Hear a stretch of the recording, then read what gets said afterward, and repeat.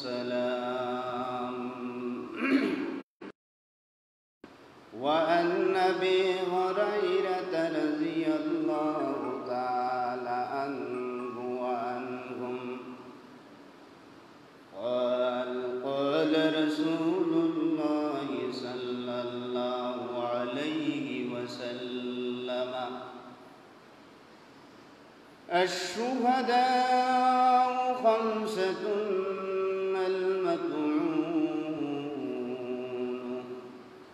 والمبتون والغرق وصاحب الحدم وصاحب الحدم والشهيد في سبيل الله اللهم صل على سيدنا محمد وعلى آل سيدنا محمد. كما صليت على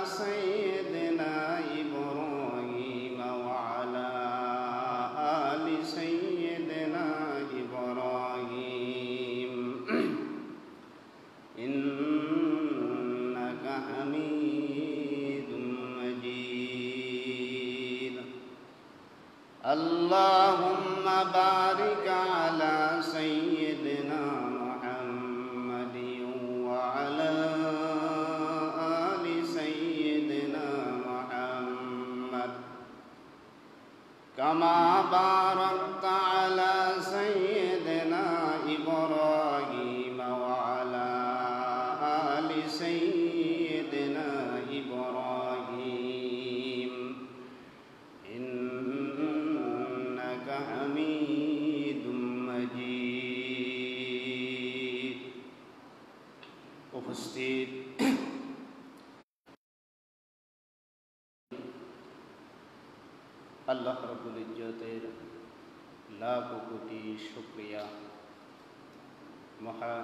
রব্বে করিম আমাদেরকে সুস্থ রেখে, সবল রেখে, সুস্থতার সহিত আল্লাহ ঘরে এসে বসার মতো নামাজের জন্য অপেক্ষবান থাকার তৌফিক মহান রব্বে করিম যে আমাদেরকে দান করলেন। আমরা সকলে জবান থেকে, অন্তরের অন্তঃস্থল থেকে মহান রব্বে করিমের দরবারে আলী কালীবাদু শুকর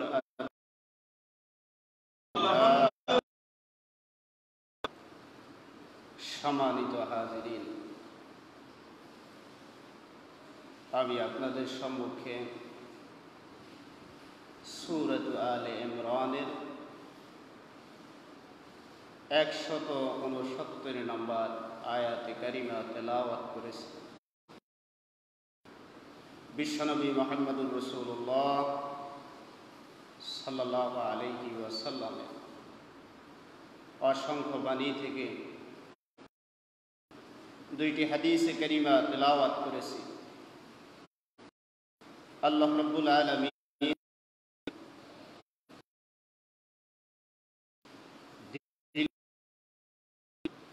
আয়াতে করিমা এবং হাদিস দয়ের আলোকে কিছু কথা আপনাদের সামনে আলোকপাত করব। আল্লাহ রব্বুল ইজ্জত আমাদেরকে এবং হাদিসের আলোকে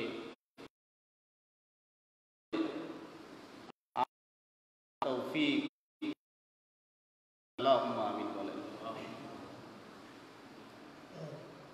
গত সপ্তাহ সোমবার রাতে বাংলাদেশের নারায়ণগঞ্জ তল্লা জামে মসজিদে ওনাদেরকে শাহাদতের মর্তবা নসিব ফরমান। সকাল আল্লাহ আমিন বলেন। ভয়াবহ অগ্নিকাণ্ড মোয়াজ্জেন সাহেব পৃথিবী থেকে চলে গিয়েছেন। আমরা আলোচনা করব শহীদদের শ্রেণীবিন্যাস নিয়ে। আল্লাহ রব্বুল আলমিনের রাস্তায় যিনারা শহীদ হন, তারা যিনারা শহীদ হন, তারা কয় প্রকার? দুই প্রকার। একটি হচ্ছে প্রকৃত শহীদ। শহীদ। প্রকৃত শহীদ। রাস্তায় গিয়ে এলাউ কালিমাতুল্লাহ আল্লাহর জমিদে আল্লাহ পাকের ইসলামের পতাকাকে উড্ডীন করার জন্য যারা আল্লাহর রাস্তায় নিজের জানকে কোরবান করে দেন, আল্লাহর রাস্তায়গুলো বের করে দেন, ওনারা হচ্ছে প্রকৃত আর হুকমান শহীদ কারা? হুকমান শহীদ হচ্ছে রসুল করিম সাল্লাম আমি আপনাদের সামনে হাদিসে কারিমা তেলাওয়াত করেছি। হজরত আবু হরাইরা থেকে বর্ণিত বখারি শরীফের আঠাইশশো উনত্রিশ নম্বর হাদিস। আল্লাহ নবী ইরশাদ করেন عن ابي هريره رضي الله تعالى عنه وعنهم قال رسول الله صلى الله عليه وسلم الشهداء خمسه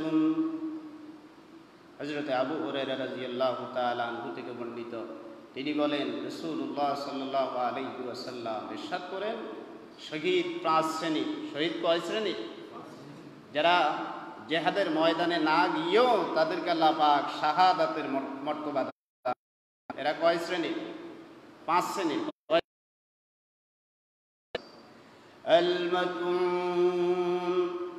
আল্লাহ নবী করেন।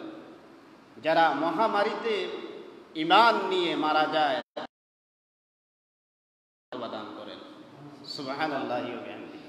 অর্থাৎ যারা বর্তমান করোনাকালীন সময়ে ইমান নিয়ে আল্লাহ এবং তার রসুলের উপরে ইমান নিয়ে মারা যাচ্ছে, এই রোগ নিয়ে তারা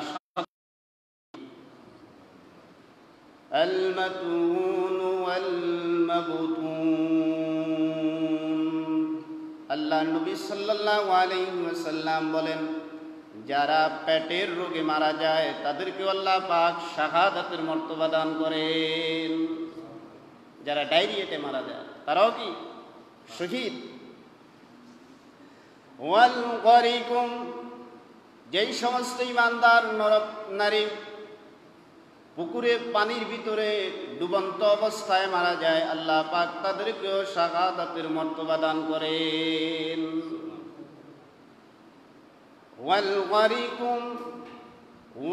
হাদাম ওয়াল হাদমু যারা মাটি চাপা পড়ে, দেয়াল চাপা পড়েও মারা যায়, তাদেরকেও আল্লাহ রব্বুল আলমিন শাহাদাতের মর্তবা দান করেন। সুবাহান যারা মাটি চাপা পড়ে মারা যায়, তারাও কি? শহীদ। নাম্বার, শেষ পয়েন্ট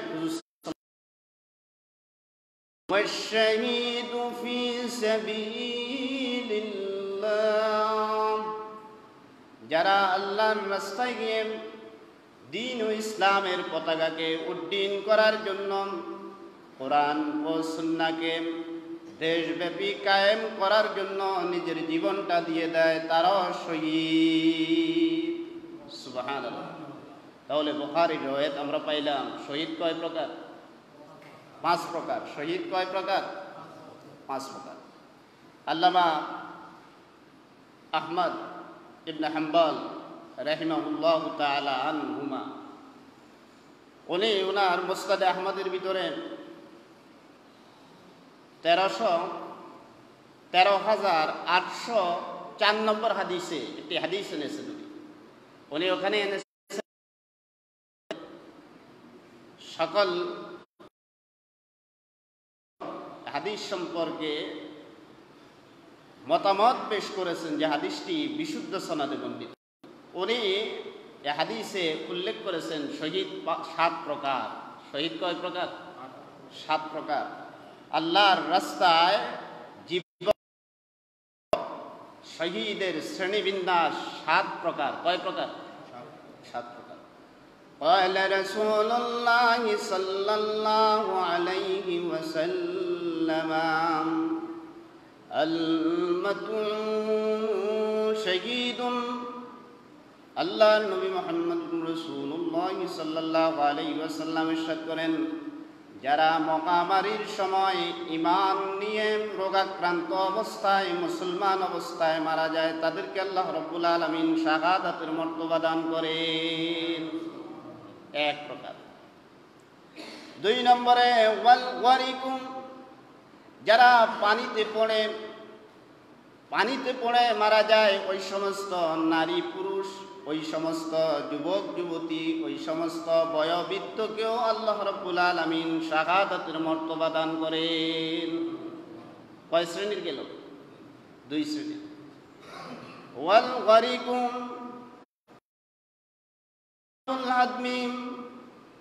যারা কোনো কিছু চাপা পড়ে, বল্লিং চাপা অথবা মাটি চাপা পড়েও মারা যায় তাদেরকেও আল্লাহ রব্বুল আলমিন শাহাদাতের মর্তবা দান করেন।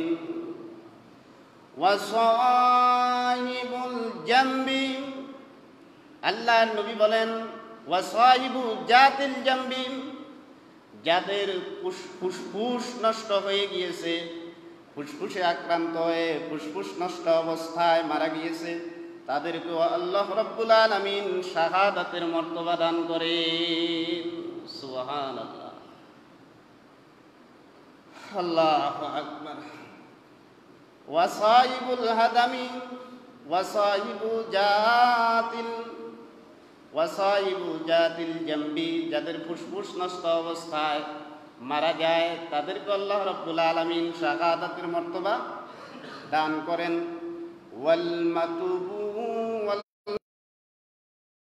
যারা পেটের কষ্টকর অবস্থায়, পেটের রোগাক্রান্ত অবস্থায়, ডায়রিয়া অবস্থায় মারা যায়, তাদেরকে রব্বে করিম দয়া করে শাহাদাতের মর্তবা দান করে সুবাহ ওয়াশাহিদু ফি সাবিলিল্লাহ।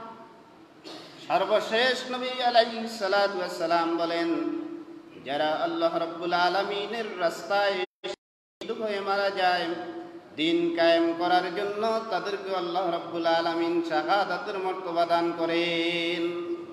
এই হাদিসের ভিতরে আরেকটা গুরুত্বপূর্ণ বিষয়। আল্লাহর নবী বলেন, ওয়াল হারিকু যারা আগুন লেগে মারা যায়, আগুন আগুন লেগে মারা যায়, আগুনে পুড়ে মারা যায়। ইমান নিয়ে যদি মারা যেতে পারে, আল্লাহ রাব্বুল আলামিন তাদেরকেও শাহাদাতের মর্তবা দিয়ে দেন। তাহলে ইমান নিয়ে মারা গেলে, আগুনে পুড়ে মারা গেলে তারা কি? শহীদ। আমাদের যে ভাইয়েরা নারায়ণগঞ্জে শাহাদাত বরণ করেছেন, আল্লাহ পাক তিনাদেরকে শহীদ হিসেবে কবুল করে নেন। বড়াই আশ্চর্য লাগে। সাত বছরের একটা ছেলে। নাম জুবাইর মোটু মতু পাতলু চাচ্ছে মতু পাতলু দেখতেছে। আম্মু বলেন, তুমি মসজিদে যাও। আব্বুর সাথে মসজিদে গিয়েছে নামাজ পড়ার জন্য। বাপ ছেলে দুজনই পৃথিবী থেকে চলে গিয়েছে। কত ব্যথা, কত যন্ত্রণা। একজন পটু সাংবাদিক। ওনার স্ত্রী পত্রিকায় লিখেছে অত্যন্ত কষ্টে জীবন যাপন করতেন, সৎ মানুষ ছিল। উনি সব সময় দোয়া করতেন, আল্লাহ রাবুল্লাহ আলমিন যদি মত দেয়, তাহলে আল্লাহ পাক তিনার ঘরে যাতে আমাকে মত দেয়। সুবাহান আল্লাহ কবুল করে নিয়েছে। এজন্য আমাদের তামান্না, আমাদের আকাঙ্ক্ষা থাকবে, আল্লাহ আমাদেরকে শহীদ হিসেবে কবুল করো। আমাদেরকে শাহাদাত, শহীদ হিসেবে কবুল করে নাও আল্লাহ। সব সময় দোয়া করবেন। রসুল করিম সাল্লাহ সাল্লাম হাদিস শরীফের ভিতরে এরশাদ করেন, শহীদের তামান্না নিয়ে যদি কেউ মারা যায়, আল্লাহ রব্বুল আলমিন তাকে শহীদ হিসাবে কবুল করে নেন। আমরা দেখি হাদিসে কারিমা এবং বিভিন্ন ঐতিহাসিকদের মত থেকে হজরত খালেদ ইবনে ওয়ালিদ রাজি আল্লাহ আনহু। তিনি অসংখ্য যুদ্ধে নেতৃত্ব দিয়েছেন। অসংখ্য যুদ্ধে নেতৃত্ব দিয়ে ইসলামের পতাকাকে উড্ডীন করেছেন, কালিমার পতাকাকে উড্ডীন করেছেন হজরত খালেদ ইবনে ওয়ালিদ রাজি আল্লাহ আনহু মৃত্যু সজ্জায় হজরত খালেদ রাজি আল্লাহ আনহু স্ত্রীকে ডেকে বলেন আল্লাহ রব্বুল আলমিনের কাছে আমার কামনার বাসনা ছিল, আল্লাহ রব্বুল আলমিন আমাকে শহীদ হিসেবে কবুল করবেন। আল্লাহর রাস্তায় জেহাদ করার জন্য আমি যতগুলো তরবারি চালিয়েছি, আমি আপনাদের সামনে বলেছিলাম হজরত খালেদ ওয়ালিদ রাজি আল্লাহ আনহু, মোতার প্রান্তরে ইসলামের পক্ষে জেহাদ করতে গিয়ে একে একে নয়টা তরবারি ভেঙে নিয়েছে, নয়টা তরবারি ভেঙে ফেলেছে ইসলামকে উড্ডীন করার জন্য। তারপরে উনি শহীদ হননি মৃত্যু সজ্জায় শাহাদাতের কামনা। উনি একটু আফসোস করতেছেন। ওনার স্ত্রী ওনাকে সান্ত্বনা দিয়ে বলতেছেন, দেখেন, যারা আল্লাহর রাস্তা হয়, যারা আল্লাহর রাস্তায় শহীদ হয়, সেটা না হলেও পরে আল্লাহ পাকের নবী দিয়েছেন। আল্লাহ তরবারি, কার তরবারি? স্ত্রী বলেন, দেখেন আল্লাহ তরবারি কখনো ভেঙে যায় না। আল্লাহ তরবারির খাসলত আল্লাহ তরবারির বৈশিষ্ট্য হচ্ছে অন্যকে কাটা, নিজে কেটে যাওয়া নয়। উনি শাহাদাতের তামান্না নিয়ে এতেকাল সকলের তামান্না কি থাকবে? শহীদ হওয়ার তামান্না, আল্লাহ আমাকে শহীদ হিসেবে কবুল করে নেন। এই তামান্না যাতে আমাদের সকলকে তৌফিক দান করেন। হুজুর সাল্লাহ আলী ওয়াসাল্লাম, আরেক হাদিসে খুদ্বার প্রারম্ভে আমি আরেকটা হাদিস তেলাওয়াত করেছি। সে হাদিসটিতে হুজুর সাল্লাহ সাল্লাম বলেন, ইমামে তিরমিজি রহমতুল্লাহ আলাই সাতাশশো পঁয়ত্রিশ নম্বর হাদিসে আবু হরাইরা থেকে বর্ণনা করেন أن أبي هريرة رضي الله تعالى عنه وعنهم قال قال رسول الله صلى الله عليه وسلم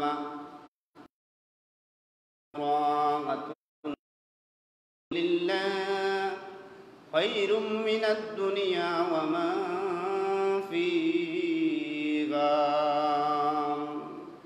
হজরতে আবু হুরায়রা রাদিয়াল্লাহু তাআলা আনহু বলেন বিশ্বনবী মুহাম্মদুর রাসূলুল্লাহ সাল্লাল্লাহু আলাইহি ওয়াসাল্লাম ইরশাদ করেছেন কোন নারী পুরুষ কোন নারী পুরুষ সে পুরুষও হতে পারে অথবা নারীও হতে পারে সবাই কার বান- কার- কার বান্দা বান্দি আল্লাহ রব্বুল আলমিনের কার আল্লাহ আল্লাহর নবী বলেন কোন নারী যদি সকাল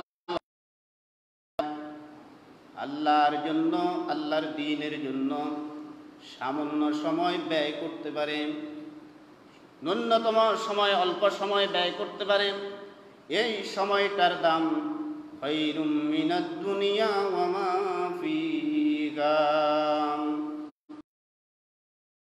মাঝখানে যা আছে তার থেকেও আল্লাহ দামি। তাহলে আমাদেরকে বেশি বেশি আল্লাহর রাহে ব্যয় করতে হবে। আল্লাহর রাস্তায় সময় ব্যয় করতে হবে। আমাদের অন্তরে থাকতে হবে। আমরা আমাদের ওলামাই কেরামের পক্ষ থেকে বলব, যেই গাফলতির কারণে আমাদের এতগুলো ভাই শহীদ হয়েছে আমরা এটার একটি সুষ্ঠু, তদন্ত এবং সঠিক বিচার চাই। এমনও ফ্যামিলির এমন ব্যক্তি শহীদ হয়েছেন, শুধু উনি ছাড়া আর কেউ নাই পরিবারে। উনি একাই। এজন্য আমরা ওলামাই গ্রামের পক্ষ থেকে আমরা এই শহীদদের পরিবারের জন্য সঠিক বিচার চাই এবং ক্ষতিপূরণও চাই। যাতে করে আল্লাহ পাক এই দেশের যারা রাষ্ট্র চালাচ্ছে, তাদেরকে সঠিক বিচার করার তৌফিক দান করুন। তাহলে আমাদের অন্তরে কিসের তামান্না থাকতে হবে? শাহাদাতের তামান্না। সাহাবাই গ্রামের অন্তরে কিসের তামান্না ছিল? শাহাদাতের তামান্না। আমি আপনাদের সামনে একটি ঘটনা উল্লেখ করব। আল্লামা আহমদ জুলফিকার রহমতুল্লাহ আলাই, উনি ওনার প্রসিদ্ধ কিতাব হতবাতে জুলফিকারের ভিতরে, তেত্রিশ থেকে ছত্রিশ নম্বর পৃষ্ঠার ভিতরে উল্লেখ করেছে। নবী করিম সাল্লাহ সাল্লামের কাছে এক যুবক এসেছে মক্কা থেকে, নাম হচ্ছে আব্দুল হোসা। নাম কি? আব্দুল হোসা আমি আপনাদেরকে এই ঘটনাটি এই জন্যই বলতেছি, ওনাদের অন্তরে জেহাদের কি তামান্না ছিল? শহীদ হওয়ার কি তামান্না ছিল? আব্দুল হোসা বুনিয়াদি বংশের সন্তান, অডেল সম্পত্তির মালিক, বাবা মারা গেছে ছোট সময়। আপনাদেরকে জেনে রাখা দরকার, দুইজন আব্দুল হজ্জা ইসলাম গ্রহণ করেছিল, একজন আবার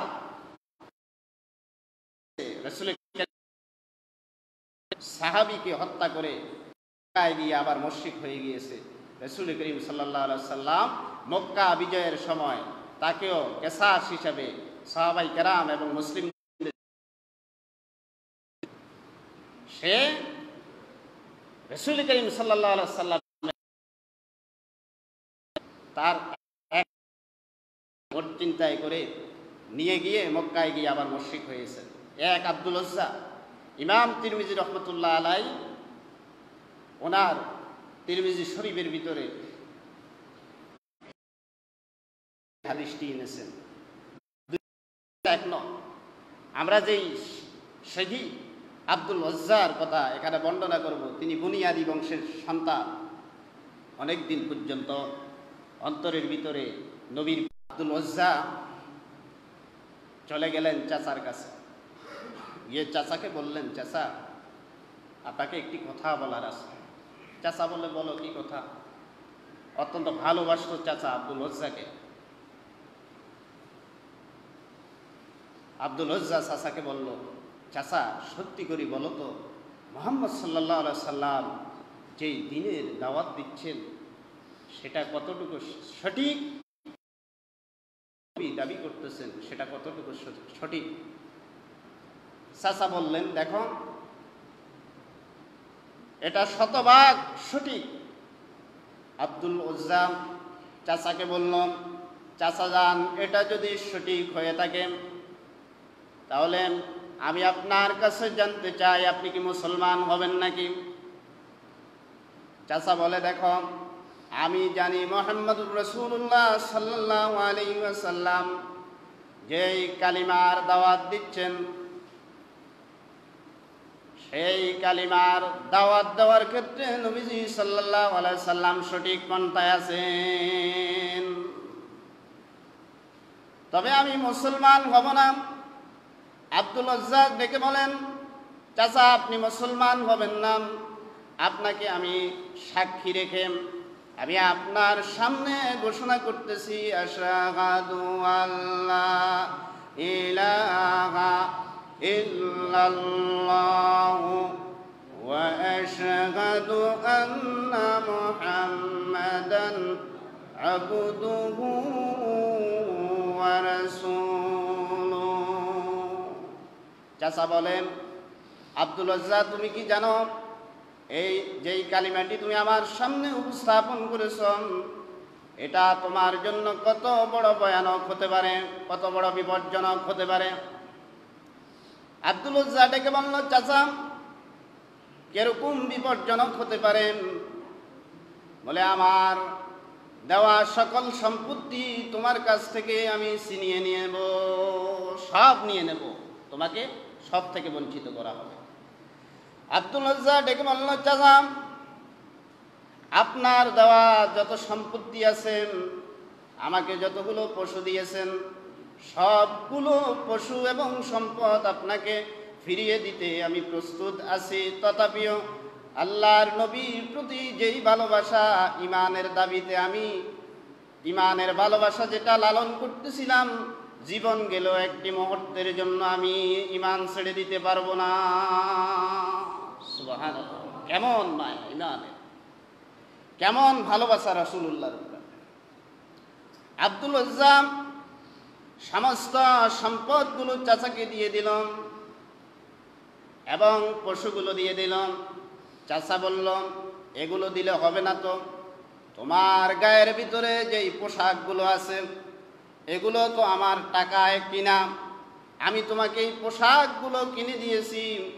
যদি তুমি মোহাম্মদুর রসুল্লাহর প্রতি ইমান এনে থাকো, তাহলে আমার টাকায় পোশাকগুলো তোমাকে খুলে দিয়ে দিতে হবে। আব্দুল আজ্জাম ওনার দেওয়া পোশাকগুলো খুলে দিলেন। যুবক মানুষ, একুশ বাইশ বছরের যুবক, উলঙ্গ অবস্থায় চাষার সামনে থেকে লজ্জাস্থানকে ধরে মায়ের কাছে চলে গেলেন। মা বলে, আব্দুল উজ্জা তোমার এই অবস্থা কেন? আমি এই ঘটনাটি এই জন্যই বলতেছি যে শাহাদাতের তামান্না যদি অন্তরে থাকে, আল্লাহ পাক শহীদ হিসাবে কবুল করে নেবেন সুবাহান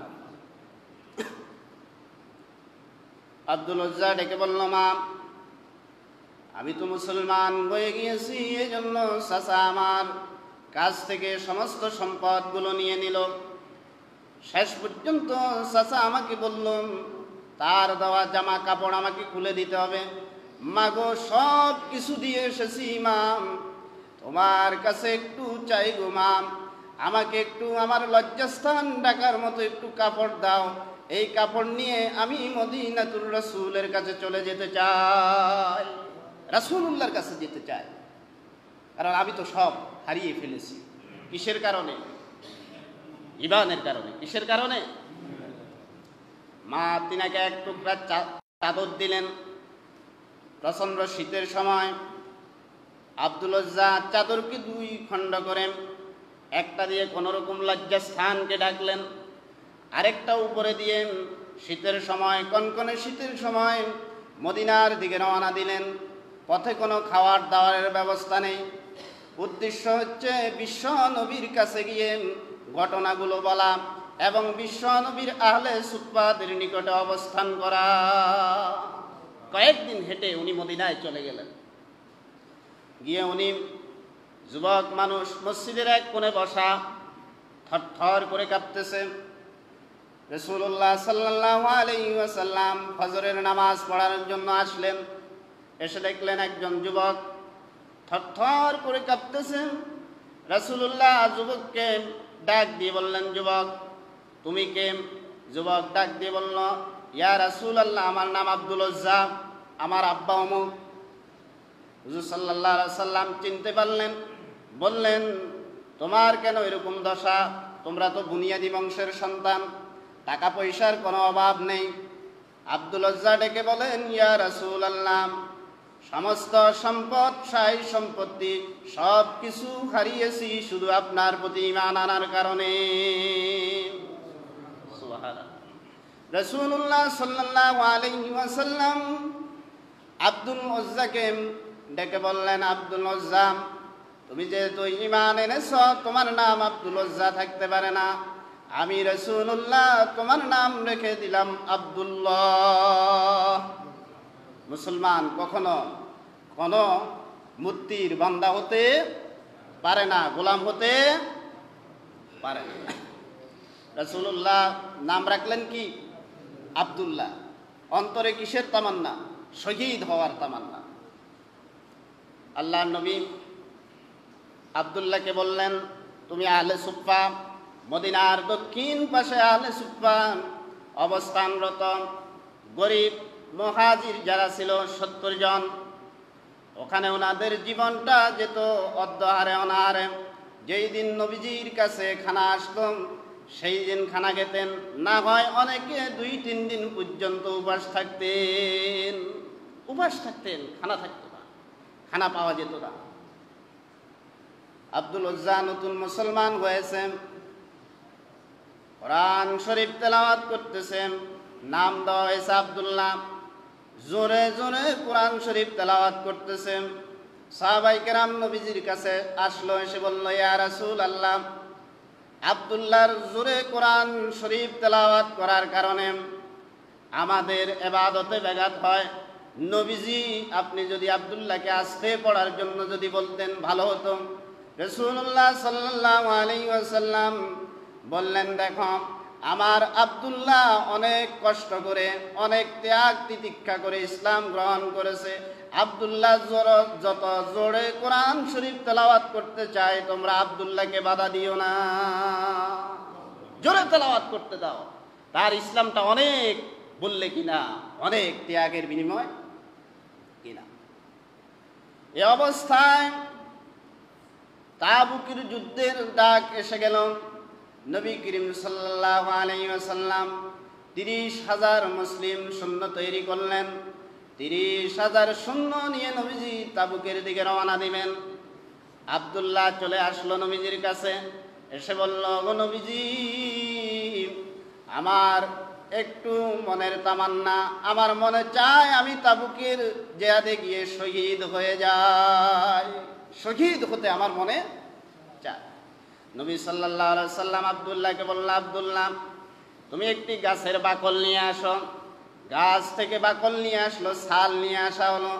নবীজি সাল্লাহ সাল্লাম ওই ছালটি আবদুল্লাহর হাতে বেঁধে দিয়ে বললেন আয়াল্লাহ তালা আবদুল্লাহর ইসলামটা বড় দামে বড় মূল্যে কিনা? আল্লাহ তালা আমি তোমার নবী হিসাবে আবদুল্লাহর রক্তটা তাম বিশ্বের কাফেরদের জন্য হারাম ঘোষণা করলাম। আমার আবদুল্লাহর রক্ত যাতে কোনো কুফারের হাতে প্রবাহিত না হয়। হজরত আবদুল্লাহ কাঁদতে আরম্ভ করলেন, নবীজি, অনেক তামান্না নিয়ে শহীদ হতে চেয়েছিলাম। আপনি আমার জন্য দোয়া করলেন যাতে করে কাফেররা আমাকে হত্যা করতে না পারে। আল্লাহ নবী, আমার তো শহীদের তামান্না, শহীদ হওয়ার তামান্না। নবীজি বললেন, দেখো, তুমি এখন যদি ঘরে জরাক্রান্ত হয়ে জ্বরেও যদি মারা যাও, আল্লাহ রব্বুল আলমিন তোমাকে শাহাদাতের মর্যাদা দান করবে। সুবহানাল্লাহ। হুজুর আলাইহি সাল্লাম তিরিশ হাজার সৈন্য নিয়ে তাবুকের অভিমুখে রওনা। মুসলমানদের বিজয় হলো। হুজুর সাল্লাহ সাল্লাম ফিরে আসতেছেন। হজরত আবদুল্লার জ্বর হলো। জ্বরাক্রান্ত হলে সন্ধ্যার আগে আগে মারা গেলেন। ইন্দানিল্লাহি সন্ধ্যার আগে আগে মারা গেল নবীজি সাল্লাহ সাল্লাম সাহাবিদেরকে বললেন, আমার আবদুল্লাহকে গোসল দাও। গোসল করাও আবদুল্লাহকে গোসল করা হলো গোসল করানো হলো আবদুল্লাহ লাশ দুইজন নিয়ে যাচ্ছে একজন কবরের ভিতরে আরেকজন বাতি ধরে রয়েছে, আরেকজন পাশে দাঁড়িয়ে রয়েছে। লাশটা আস্তে আস্তে নিয়ে আসা হচ্ছে। বাতিতে ধরে লাশটা কবরে নামানো হবে। যেই দুইজন আবদুল্লাহ লাশকে বহন করলেন একজন হচ্ছেন হজরত আবু বকর রাজি আল্লাহ আরেকজন হচ্ছেন হজরত ওমর রাজি আল্লাহ তালা হুজুর সাল্লাহ সাল্লাম ডাক দিয়ে বললেন, যেই মানুষটা কবরে দাঁড়ানো, লাশ গ্রহণ করার জন্য এটা হচ্ছে বিশ্বনবী মোহাম্মদুর রসুল্লাহ সাল্লাহ আলাইসাল্লাম আর বাতি নিয়ে যিনি কবরের পাশে দাঁড়ানো অবস্থা ছিলেন তিনি হচ্ছেন ইসলামী জানের সর্বপ্রথম মুয়াজ্জিন হজরতে বেলাল রাজি আল্লাহ বাতি নিয়ে দাঁড়িয়ে রয়েছেন। হুজুর সাল্লাহ সাল্লাম আবু বকর এবং উমর কি বলেন, ও আবু বকর আমার আব্দুল্লাহর লাশটা আমার হাতে দাও। আমার আব্দুল্লাহর লাশ আমার হাতে দিয়ে দাও। নবী করিম সাল্লাল্লাহু আলাইহি ওয়াসাল্লাম লাশটা হাতের ভিতরে নিয়ে আসমানের দিকে তুলে ধরলেন আল্লামা আহমদ জুলফিকার রহমতুল্লাহ আলাইহি উনার। খতবাতুল জুলফিকারের তেত্রিশ থেকে ছত্রিশ নম্বর পৃষ্ঠার ভিতরে দীর্ঘ হাদিস এনেছেন। হুজুর আলাইহি সাল্লাম আব্দুল্লাহর লাশটা আসমানের দিকে তুলে ধরে বললেন, আল্লাহ তাআলা আমার আব্দুল্লাহ ইসলাম গ্রহণের, ইসলাম গ্রহণ করার জন্য নিজের জায়গা, জমিন ইজ্জত পর্যন্ত নিয়ে মদিনায় আসতে পারে নাই গো আল্লাহ। আল্লাহ তালা ইসলাম গ্রহণ করার শেষে মদিনায় আসার পরে আলে সুপারদের সাথে থাকার পরে আমি আবদুল্লাহর উপরে সন্তুষ্ট ছিলাম। আল্লাহ তালা শহীদ হওয়ার পরেও আমি আবদুল্লাহর লাশটাকে তোমার দরবারে তুলে ধরে বলতেছি আল্লাহ তালা আজ সন্ধ্যা পর্যন্ত আমি আবদুল্লাহর উপরে খুশি ছিলাম। মেঘের বাণী করে তুমি আমার আবদুল্লাহর উপরে খুশি হয়ে যাও। আবার আবদুল্লাহর উপরে খুশি হয়ে যাও। অনেক ত্যাগ, তিতিক্ষার বিনিময়ে আবদুল্লাহ ইসলাম গ্রহণ করেছে।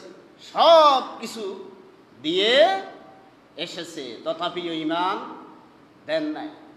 হজরত ইবনে মাসুদ রাদিয়াল্লাহু তাআলা আনহুমা কবরের পাশ থেকে চিৎকার দিয়ে বলতেছেন আল্লাহ তাআলা আব্দুল্লাহর নসিব কত ভালো গো। বিশ্বনবী আব্দুল্লাহকে কবরের ভিতরে নিজ হাতে দাফন করার সময় বলতেছে, আব্দুল্লাহর উপরে বিশ্ব নবী খুশি, তুমি আল্লাহ রব্বুল আলমিন খুশি হয়ে যাও। আল্লাহ তাআলা, আব্দুল্লাহর জায়গা যদি আমি আব্দুল্লাহ ইবনে মাসউদ যদি হতাম, আমি আব্দুল্লাহ ইবনে মাসউদের কপাল আর ভাগ্য খুলে যেত। এজন্য জেহাদের তামান্না, জেহাদের আকাঙ্ক্ষা নিয়ে যদি মুসলমান মৃত্যুবরণ করেও করে আল্লাহ পাক তাকে শহীদ হিসেবে কবুল করে নেন। কাজেই আজকের আলোচনায় আমাদের তামান্না কি থাকবে?